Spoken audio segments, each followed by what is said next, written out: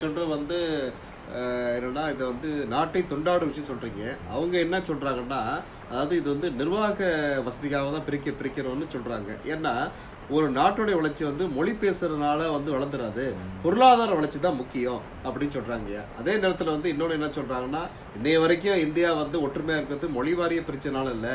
பாரதத்துடைய பழமையான கலாச்சாரம் இந்து மதம் தான் இதுக்கு வந்து இருக்கு. அதுக்கு வந்து உதாரணம் கூட ஒரு பாரதியார் வரிகள் வந்து சொல்றாங்க. அதாவது பதினெட்டு அ- அதுல வந்து செப்பு மொழி பதினெட்டுடையால் சிந்தை ஒன்றுடையால் உடையாள் அப்படிங்கிற பாடல் வரிகளோட வந்து ஒரு கருத்தை வந்து முன்வைக்கிறாங்க. இப்போ நாடுன்னு சொல்கிறீங்கல்ல உலகம் பூரா நாடு எப்படி உருவாயிருக்கு? மொழி என்ன அடிப்படையில் நாடு உண்டாயிருக்கு நிர்வாக அடிப்படையில் இல்லை. இத்தாலிக்காரர்களுக்கு இத்தாலி. இத்தாலிலாம் வ- அப்படியே இருந்ததில்ல. அதெல்லாம் ஓட்டோமான் எம்பையரில் இருந்தது. போராடி தான் இத்தாலி தனிநாடாச்சு ஒவ்வொரு நாடு உருவாகி. பிரெஞ்சு புரட்சியில் தேச புரட்சியாகவும் நடத்தினாங்க பிரெஞ்சு பேசுகிற மக்களுக்கு அது தேசம்.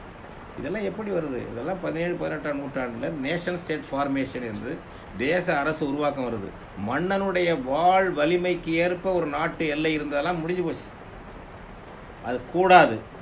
அந்தந்த மொழி இன தேசம் தனியாக இருக்கணும். அதற்கு ஒரு சாவரின்ட்டி இறையாண்மை இருக்க வேண்டும் என்ற கருத்து தான் தேச உருவாக்கம் பதினெட்டு பத்தொன்பது நூற்றாண்டில் பதினெட்டாம் நூற்றாண்டில் வளர்ச்சி அடைஞ்சது. அதன் அடிப்படையில் தான் இன்றைக்கி உலகம் பூரா நாடுகள் இருக்குது அப்படி தனிநாடாக இல்லாததெல்லாம் தகராறும் வம்பும் தியாகங்களும் பதட்டத்தில் தான் இருக்கா? இப்போ இங்கே பிரிட்டானியா இருக்குது பிரிட்டன் வந்து அதிகமான ஒரு முன்னோடியான நாடாளுமன்ற ஜனநாயகத்துக்கு முன்னோடி குடியுரிமைகளுக்கு வழங்கினதில் முன்னோடியானது. சும்மா பேருக்கு மன்னராட்சி வச்சுருப்பாங்க. மற்றபடி ஜனநாயக ஜனநாயகம் கூடுதலாக இருக்குது இந்தியாவை விட கூடுதலாக இருக்குது அந்த நாட்டில் இருந்து பிரிந்து போக வேண்டும் என்று அயர்லாந்து போராடி கொண்டே இருக்கிறது. அந்த நாட்டிலிருந்து பிரிந்து போட பிரிந்து போக வேண்டும் என்று ஸ்காட்லாந்து இப்பொழுது போராடி கொண்டிருக்கிறது. அவன் என்ன பண்ணான் பாருங்கள் கருத்து வாக்கெடுப்பு நடத்தினான் ஸ்காட்லாந்து ஒரு நாலு ஆண்டு முன்னாடி கருத்து வாக்கெடுப்பு நடத்தினான் ஜனநாயகம் எப்படி நடத்தினான் இங்கே கருத்து வாக்கெடுப்பு நடத்தினா நாக்கே வந்து போயிருமா? அதில் கொஞ்சம் ஸ்காட்லாந்து கொஞ்சம் கோட்டு குறைச்சல வாங்கி தோத்து போயிடுச்சு. அது காரணமே அவங்க இங்கிலீஷ்காரன் நிறைய பேர் வந்து குடியேறியிருக்காங்க. அந்த காட்டி கொடுக்குற கட்சி மாதிரி இப்போ இங்கே இருக்குல்ல இப்போ காங்கிரஸ் பல கட்சி காட்டி அங்கே அது மாதிரி லேபர் பார்ட்டி காட்டி கொடுக்குற கட்சி. நம்ம கன்சர்வேட்டிவ் பார்ட்டி அவங்க எல்லாம் அந்த எதிராக ஓட்டு போட்டாங்க. ஆனால் இன்றைக்கு அந்த மாநில ஆட்சியை ஸ்காட்டிஷ் நேஷனல் பார்ட்டி தான் ஆட்சி ஆளுது அங்கேயே தனிநாடு கேட்குறாங்க இப்போ நீங்கள் மனித குலத்துக்கு அடிப்படை ஒரு நிர்வாக யூனிட் என்பது இனம் மொழி. இது நாமளாக உருவாக்குறது இல்லை வரலாறு உருவாக்குவது. அந்த அடிப்படையில் தான் ஒரு தேசம் உரு உருவாகணும். அதுதான் உலக இயற்கை. அதனால தான் இன்றைக்கி நூற்றி தொண்ணூற்றி மூணு நாடுகள் ஐநா மன்றத்தில் இருக்குது இந்த இது உலக ரெண்டாவது உலக போருக்கு பிறகு ஐநா மன்றம் உருவாகும் போது ஐம்பத்தஞ்சு ஐம்பத்தாறு நாடு தான் இருந்துச்சு. புதுசு புதுசாக உருவாகிட்டே இருக்குது சோவியத் ஒன்றியம் பதினஞ்சு நாடுகளாக பிரிஞ்சுது. செக்கோசில் வைக்க ரெண்டு நாடாக போச்சு. மொழி என்ன அடிப்படையில் தான். யூகோஸ்லாவியா ஆறு நாடாக பிரிஞ்சுது. கிழக்கு திமோர் ஏற்கனவே பிரிஞ்சிருக்கு. எத்தியோப்பியா வந்து எரித்திரியா பிரிஞ்சிருக்கு. இன்னும் எத்தனை நாடுகள்? இப்போ இந்த இதில் வந்து பெரிய போராட்டம் நடக்குது. ஐரோப்பாவிலே வந்து ஸ்பெயினில் கெட்டலோனியா பாஸ்க் தனிநாடு கண்டு போராடுறான். ஏனென்றால் மனித குலத்தின் அடிப்படை ஒற்றுமை யூனிட் என்பது ஒரு மொழி பேசும் ஒரு இன மக்கள் ஒன்றாக ஒரு நாடாக இருப்பதுதான். அதற்கு முரணாக இருப்பதோ அந்த மொழி இனத்தை பெரும்பான்மை இனம் ஆதிக்கம் செலுத்துவதோ நீடிக்காது. அது அவன் அவன் தனக்கு நாட்டை உருவாக்கியே தீருவான். இங்கே வந்து என்ன பண்ணுறீங்க மொழி கூடாது. மொழி எதுக்கு? மொழி வழி மாநிலம்லாம் வேணும். இந்தி திணிக்கணும். எவனுக்குமே தாய்மொழி அல்லாத சமஸ்கிருதம் திணிக்கணும். ஆரிய கலாச்சாரம் திணிக்கணும். பகவத்கீதையை திணிக்கணும். அதெல்லாம் எதுக்கு? எதுக்கு திணிக்கிற? ஒரு ஒரு ஒரு அண்ணா சொன்ன ஒரு நல்ல கருத்தை மட்டும் நான் சொல்கிறேன் மொழி அவர் நான் நான் உறுப்பினராக இருந்தார். அப்போ தமிழ்நாடு பேர் வைக்கிறோம்னு ஒரு தீர்மானத்தை முன்மொழிஞ்சு பேசுகிறாங்க கம்யூனிஸ்டெல்லாம் ஆதரிக்கிறாங்க. அண்ணா பேசுகிறாரு அப்புறம் கேட்குறாங்க காங்கிரஸ் ஆள் கேட்குறாங்க காங்கிரஸ்காரங்க எம்பிக்கள் கேட்குறாங்க அதனால என்னங்க ஆகிட போகுது? மெட்ராஸ் ஸ்டேட்னு இருந்தால் என்ன? தமிழ்நாடுன்னு பார்த்து என்ன உங்களுக்கு புதுசாக என்ன வந்துட போகுது? அண்ணா கேட்டார். சரி. நாமெல்லாம் வந்து பார்லமெண்ட்டில் அப்பர் ஹவுஸ் லோயர் ஹவுஸ்னு சொல்லிக்கிட்டு இருந்தோம். அதை நீங்கள் வந்து லோக்சபா ராஜ்யசபான்னு மாற்றுறீங்க அதனால என்னங்க உங்களுக்கு வந்துச்சு? உங்களுக்கு என்ன அதனால் வந்துச்சு? அதுதான் எங்களுக்கு வரும் அப்படின்னாரு. அந்தந்த இனத்துக்கான பெருமிதம்.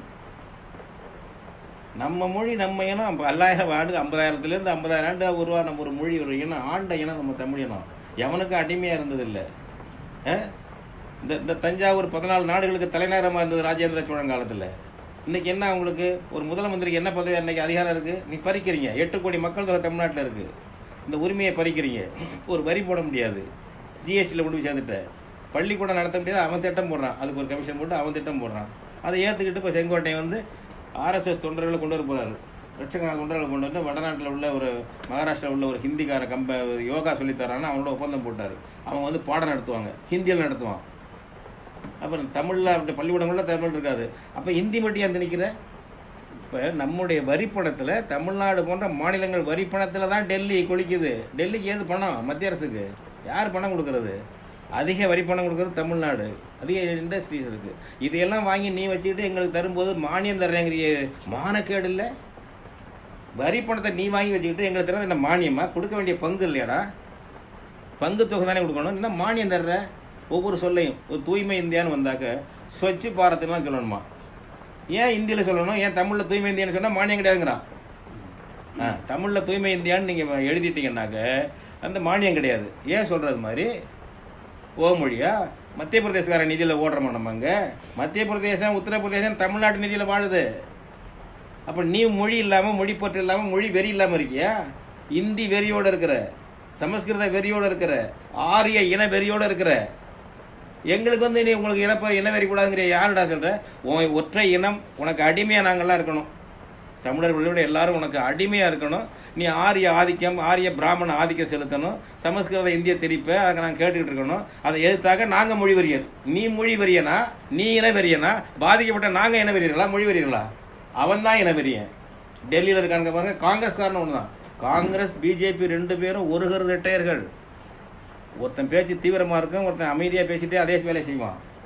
உரிமையை பறிப்பதில் மாநில மொழி இன உரிமைகளை பறிப்பதில் காங்கிரஸ்காரனுக்கும் பிஜேபிக்காரனுக்கும் வேறுபாடே இல்லை. தீவிரமானவர் ரெண்டு பேரும். உட்காந்துட்டு வெறியோடு இருக்கீங்க. கம்யூனிஸ்ட் கட்சி அதில் போய் கிடக்குறான். பாரத மாதா பஜனை கிடக்குறான் இதில் சோவியத் லெனினை வந்து மற்றதெல்லாம் கோட் பண்ணுவாங்க. இந்த மொழி மொழி பிரச்சனைக்கு ஒரு மொழி ரஷ்ய மொழி ஆட்சி மொழியாக இருக்கக்கூடாதுன்னு சொன்னார் லெனின். சோவியத் யூனியனில். ஒரு மொழி இணைப்பு மொழினா தப்பு. அந்த இணைப்பு மொழி எல்லாத்தையும் ஆதிக்கம் செலுத்தும். அவன் அவன் மொழி ஆட்சி மொழி தான். சுப்ரீம் சோவியத்தில் அவன் மொழியில் பேசட்டும். அவன் மொழியில் பிள்ளைகள் படிக்கட்டும்னு லெனின் சட்டமே போட்டார். லெனின் படத்தை வெக்கம் இல்லை மாற்றிக்கிறதுக்கு கம்யூனிஸ்ட் கட்சிகளுங்க சிபிஎம் சிபிஐ வெக்கப்பட வேணாம் நீ லெனின் படத்தை சொல்கிறதுக்கு ஏ? படிக்காத ஆளுங்களா ஏமாத்துற. நீ வந்து காங்கிரஸ் கம்யூனிஸ்ட்டுகள் சிபிஎம் சிபிஐ எல்லாம் இங்கே இருக்கவங்க காங்கிரஸ் கம்யூனிஸ்ட்டு. லெப்டினன்ட்ஸு. அது அவங்கெல்லாம் வந்து காங்கிரஸுடைய இடதுசாரி தளபதிகள். காங்கிரஸுக்கு அர்ஜுன பிரிவு வச்சுருப்பான் மகளிர் பிரிவு வச்சுருப்பான் அது மாதிரி கம்யூனிஸ்ட் பிரிவு வச்சுருக்காங்க காங்கிரஸ் அதுதான் சிபிஎம் சிபிஐ லெனின் கொள்கையெல்லாம் ஏற்றுக்கிறது இல்லை எனவே அவர்கள் இனவெறியர்கள் ஆரிய இனவெறியர்கள் பிராமண வெறியர்கள் மொழி திணிப்பாளர்கள் இந்தி திணிப்பாளர்கள் சமஸ்கிருத திணிப்பாளர்கள் அவர்கள் பாதிக்கப்பட்ட நம்மை பார்த்து வந்து வெறியர்னு சொல்கிறார்கள். அது இது இப்படி தான் செய்வாங்க. இது இப்படி தான் செய்வாங்க. அடிமைப்பட்ட இனத்தை இப்படி தான் செய்வாங்க. இவர்களுக்கு வெள்ளைக்காரன் போட்ட பிச்சை இந்தியா. எந்த காலத்தில் பாரத பாரத நாடு இருந்தது? பாரதம் பாரதங்கிறானே பாரதங்கிறதே சொல்கிறேன் ஒரு புராண கதை. துஷ்யந்தனுக்கும் சகுந்தலைக்கும் பிறந்த பையன் பரதன்கிறவன் பாரத்து. அவன் ஆம்பளை எப்படி பொம்பளையாக மாறினான் அவன் பேரில் தான் ஒரு நாம நாடு ஆண்டதாக சொல்கிறீங்க பரதனுடைய கண்டம் தான் அது. அப்புறம் பாரத மாதாங்கிற எப்படி வரும்? திருநங்கை ஆகிட்டாங்களா எப்படிங்கிறது எங்கேயாவது யோக்கியதை இருக்கா உனக்கு? எங்கள் எங்கள் தமிழ்நாடு வரலாறு எடு நாங்கள் வந்து வெள்ளக்கா டெல்லிக்காரனுக்கு எப்போது அடிமையாக இருந்தோமா? நம்ம பேசுகிற மட்டும் நினைக்காதீங்க. ஒவ்வொருத்தருக்கும் இந்த எண்ணம் இருக்கு மகாராஷ்டிராவில் சரத் பவார் கடந்த செப்டம்பர் மாதம் நான் நம்ம மும்பை போயிருந்தேன். தியாகி திலீபன் நினைவேந்தல் நிகழ்ச்சிக்கு நம்ம தமிழர்கள் அழைச்சிருந்தாங்க போயிருந்தேன். அங்கே நம்ம பத்திரிகைகள் வருது தினத்தந்தி தினகரன் எல்லாம் அப்படியே வருது. நாலு தூரம் வந்துட்டு இருக்கு. அவர் பேரில் வந்து அவர் முதலமைச்சராக இருக்கும்போது கூட்டுறவுத்துறையில் ஊழல் பண்ணி விட்டார் என்று ஒரு வழக்கு ஜோடிச்சிருக்காங்க. உண்மையாக போய் நமக்கு தெரியாது. வழக்கு போட்டிருக்காங்க. பிரபலப்படுத்தி பத்திரிகைலாம் வந்துச்சு. யார் பேர்லங்க அஹ் சரத் சரத் பவார் பேர்ல. சரத் பவார் பேர்ல வழக்கு. அவரை விசாரிக்க போறோம். என்ஃபோர்ஸ்மெண்ட் டிபார்ட்மெண்ட் அமலாக்கத்துறை விசாரிக்க போதும் அதனால அறிக்கை விட்டாங்க. இருபத்தி அஞ்சாம் தேதி அறிக்கை விடுறாங்க. இருபத்தி ஆறாம் தேதி இருபத்தஞ்சாம் தேதி மாலையே அவர் பேசுறாரு. என் மேல் வழக்கு இருக்கான் சரத்பவார் பேசுறாரு என் மேல வழக்கு இருக்கான். வந்து விசாரிக்க போறாங்களா என்ன டேய் அவர் சொல்றாரு பத்திரிகைலாம் வந்துச்சுங்க. இங்கிலீஷ் மீடியம் வந்துச்சு. சிவாஜி சித்தாந்தத்தை ஏற்றுக்கொண்ட எந்த மராட்டியனும் டில்லிக்கு தலை வணங்க மாட்டான் ம். ஆ. நானே என்ஃபோர்ஸ்மெண்ட் ஆபீஸுக்கு போறேன் மும்பையில் உள்ள அமலாக்கத்துறை அளவுக்கு நான் போறேன் என்ன நீ விசாரி சரி அப்படின்ட்டாரு அவர். அறிக்கை விடுறாரு. எல்லாமே வந்துச்சு. என்ன சொல்றாரு? சிவாஜி சித்தாந்தத்தை ஏற்றுக்கொண்ட எந்த மராட்டியனும் டில்லிக்கு தலைவணங்க மாட்டான். ஒரு காங்கிரஸ்காரர். மராட்டியன் என்ற உணர்வு இருக்கா இல்லையா? சிவசேனை இந்துத்துவா வெறி பிடிச்ச கட்சி. மராட்டியனுக்கு தான் முன்னுரிமை. மகாராஷ்டிரா மாநில அரசுகள்ல வந்து அஹ், இந்திக்காரன் வேலை இருக்கக்கூடாதுங்கிறான் சிவசேனை. எல்லாருக்கும் நான் தான் சொல்றது. இன உணர்வு என்பது இன்ஸ்டிங்க்ட் இயல்பூக்கம் பசி தாகம் போல இயல்பூக்கம் எல்லாருக்கும் இருக்கு. எவனுக்கு இல்லை? இந்திக்காரனுக்கு இருக்கிறதுக்கு வழி இல்லை. ஏன்னா இன அடிப்படையில் அவனுடைய தேசியமாக வளரலை. இப்போ மத்திய பிரதேசங்காரனுக்கு என்னங்க இனம்? உத்தரப்பிரதேசக்காரனுக்கு என்ன இனம்? அவனுக்கு அவன் மொழி பேரில் இனத்தின் பேரில் மாநிலம் இருக்குது அவனுக்கு என்ன இருக்குது வடக்க இருக்கிறவன் மத்தியில் இருக்கவனும் இருக்குங்க. உத்தரப்பிரதேசனா வடக்கால இருக்கவன் அர்த்தம். மத்திய பிரதேசம் நடுவில் இருக்கவன் அர்த்தம். இது ஒரு இனத்து பேரா? அவனுக்கு இல்லை. அவங்க தாங்க திண்டாடுறாங்க அவங்களுக்கு தான் ஒரு எல்லக்காரே ஒரு இதை கொடுத்துட்டு போயிட்டான். இந்தியன் அப்படின்னு ஒன்று கொடுத்து போயிட்டான். கேட்டால் என்னடா என்னன்னு கேட்டால் நாங்கள் வந்து இந்தியன். ஏப்பா அது இப்போ இரநூறு வருஷத்துக்குள்ள இருக்குது அதுக்கு முன்னாடி நீ என்ன என்னப்பா கே கேட்ப கேட்பான் அவனுக்கு இனம் இல்லை.